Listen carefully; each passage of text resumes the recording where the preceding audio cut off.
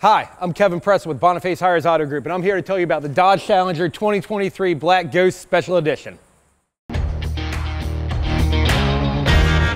Dodge is very proud about this Challenger. You're going to notice in the front the Dodge emblem in chrome lettering spread out along the front edge there, the bright white racing stripe along the back, the Challenger emblem again in chrome and script, and the SRT on black on black on the left hand side of the grille there.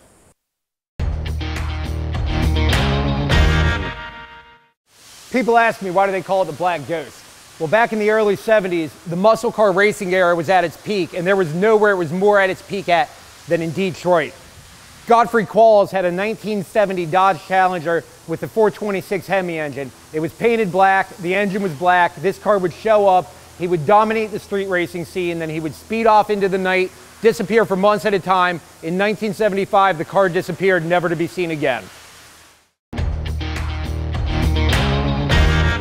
The SRT racing seats are wrapped in black Laguna leather with white cross stitching and suede inserts. That's going to allow the, the, bolsters as well as that suede to help keep the driver and any of their occupants firmly planted in that seat as they go around turns and accelerate with the amount of G's that this vehicle can pull.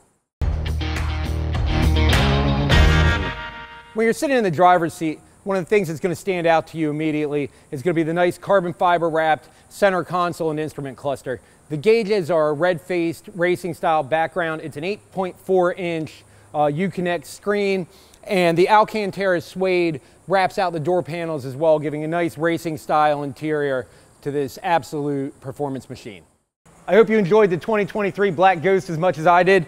To see other videos just like this, subscribe to our channel, and to see this car, come visit us at Boniface Hiers Chrysler Dodge Jeep Ram in Cocoa, Florida.